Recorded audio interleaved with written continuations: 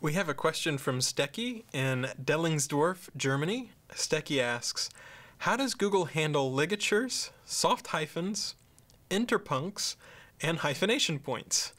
In general, is it okay to be typograph typographically correct, or does this impose problems? Wow. Okay, so the answer to the first question, how does Google handle ligatures, soft hyphens, interpuncts, and hyphenation points, is I don't know. The fact that I don't know means you should probably be a little bit cautious when you're approaching this subject. Um, is it okay to be typographically correct, or does this impose problems? Well, uh, without telling tales, let me just tell you that there's at least one major search engine that I know of, and I'm not going to say which one it is, but I'm thinking it right now, but I'm not going to say which one it is right now. Um, and they did not handle non-ASCII characters correctly for about four or five years. So even simple stuff like cedillas, you know, acute, grave, these sorts of things, they didn't index that correctly.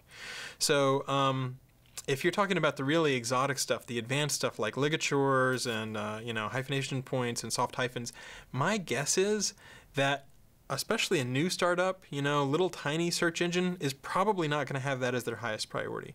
So you might want to think about if there's a way where you can get that text without having to have super crazy advanced exotic stuff. That might make it a little bit easier for search engines to index your content and for it to show up higher in the search engines.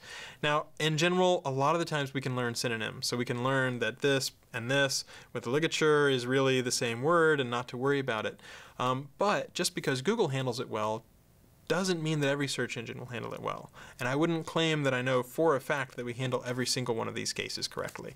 So you're you're the owner of your website, you're always welcome to do whatever you want to do, but as far as search engine rankings, I'd be aware that search engines might not always handle those cases correctly. So you might want to do a few experiments and check it out for yourself.